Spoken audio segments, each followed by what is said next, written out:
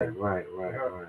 The detail. I ain't gonna front. Y'all got some swag out there though, B. I came out there, niggas is swagged out, y'all. I was like, I was like, let me find out. Cause they had the Wassam levers and all that. I had, I, oh, had, oh, Yo, I know about y'all niggas out there, nigga.